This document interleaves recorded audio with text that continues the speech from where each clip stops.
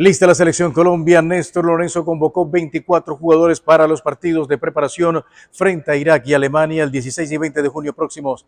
Luis Díaz de Liverpool encabeza la lista de convocados, de la que no hacen parte James Rodríguez ni Falcao García. Otros de los experimentados que fueron llamados son Jerry Mina y Juan Guillermo Cuadrado.